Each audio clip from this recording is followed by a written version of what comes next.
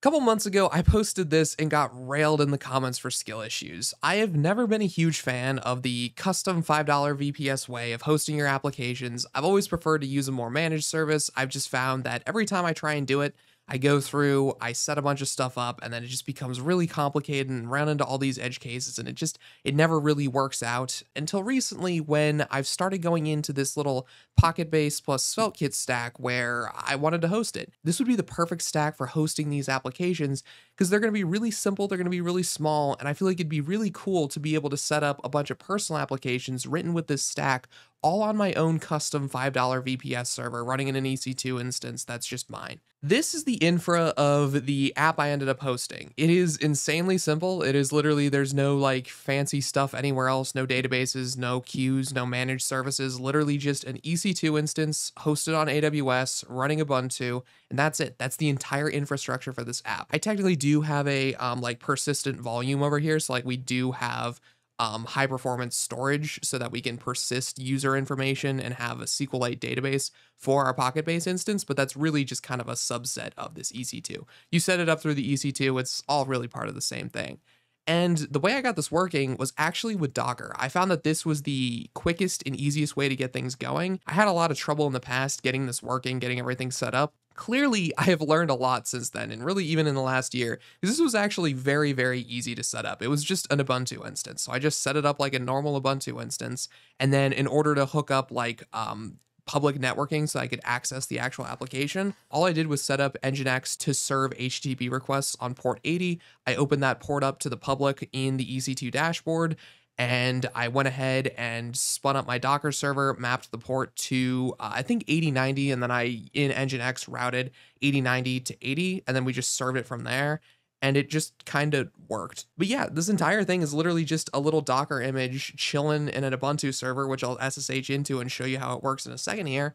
That's just serving traffic through Nginx and it works really well. The actual application I ended up putting in here is just an ideas tracker thing. It's literally just where I can go on my phone, type in the idea, select the type of idea it is, and then hit save. And when I save that, it would get persisted into my Notion or some other system, depending on what the idea was about, and that's the whole app. So the way I actually deployed this is with Docker, like I said. I think that ended up making it way simpler, although I easily could have done this by just doing it with normal Node.js or whatever, because like I said, it was just an Ubuntu instance, and I'm very comfortable with Linux and setting up Ubuntu and installing a bunch of stuff. Now, obviously, this is missing a ton of the really important features that all the like managed hosting providers have, which I'll talk about later. So I'm not really advocating this as a replacement to those. I'm just saying that for these smaller things, it is way easier than I thought it was. And I really did end up kind of enjoying working with it.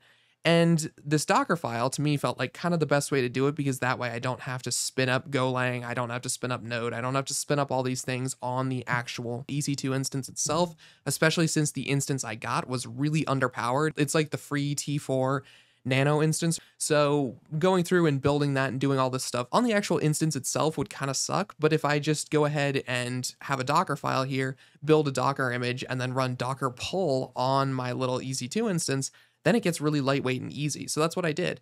What I ended up doing, and a couple of you in the last video when I talked about SvelteKit and Pocket Base recommended this, so thank you, is I ended up actually building this so that the SvelteKit app when built, is served through the Pocket Base instance. So this Docker file is actually quite simple. All we're really doing here is in this first part here, we're just building our SvelteKit app. And then in this next part here, we're building our Pocket Base instance. And then finally here at the end, when we actually want to serve this, the way we're doing that is we're just going through and we're copying out the binary from this Pocket Base build step here. So we built our Go binary, we copy that over into this final image. Then we go ahead and grab the built SvelteKit files from the build web, because remember, the SvelteKit app is just static HTML because we're doing everything client side. I'm not doing a server or anything like that, so we can just serve the static HTML from our Pocket Base app. I'm putting that in the PB public directory that I just serve my server. And then if you go into our actual instance here, which is on like some random ass IP, yeah, we go in here, it just works. This is the actual SvelteKit app being served and it's working through the Pocket Base backend. If I went ahead and I went back to this and then I go to the underscore here, this will take me into my admin dashboard and you can see this is like the live public version of Pocket Base working.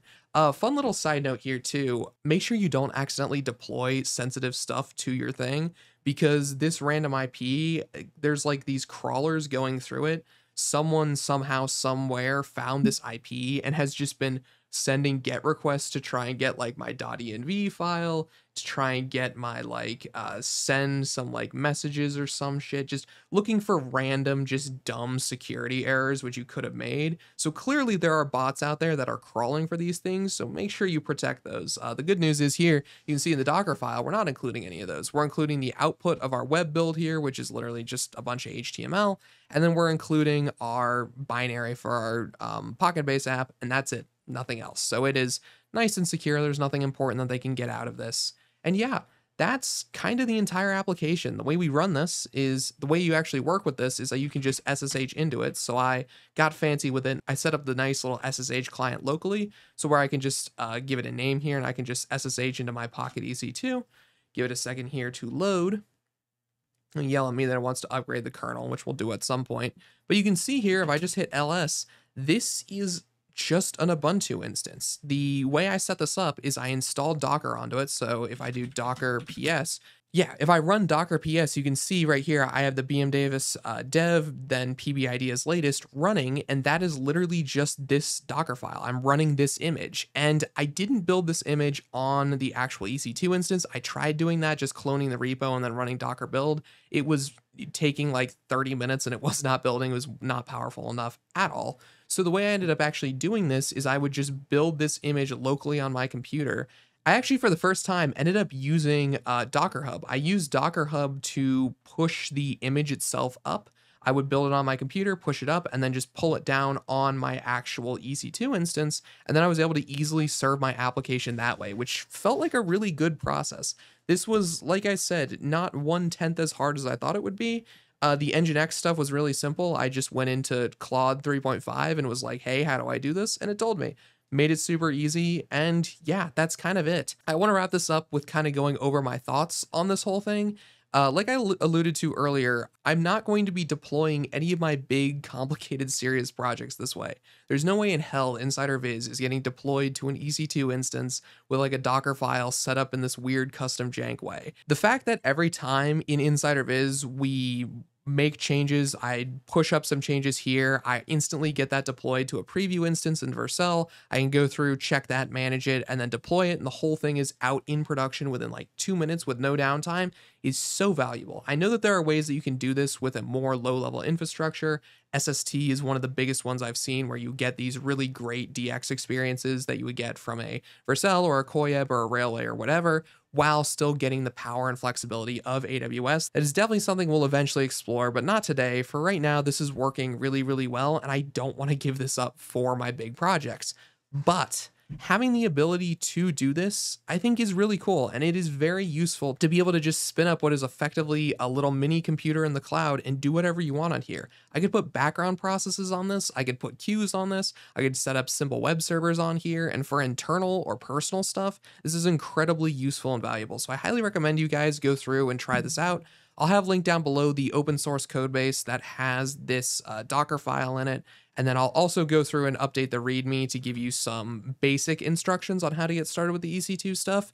I don't think I'm ever going to do a full tutorial on how to do the EC2 deployment and all that stuff because I kind of went back and forth on this, and I know this might sound kind of weird. There are a lot of ways that AWS can go very wrong. And to me, at least, it feels like you should, if you're going to be trying to use AWS and go through and set up custom EC2 instances and all that stuff, you should be able to do it without a video tutorial. Like if you're at the point where you can comfortably just kind of do most of this off the dome, because really all of this was done off the top of my head, except I had to look up the Nginx stuff because I've never used it, but everything else was just pretty normal stuff. Oh, and the Docker file. I'm not going to pretend for a second. I knew how to set up the like base PNPM home directory shit and all that stuff. I have no idea.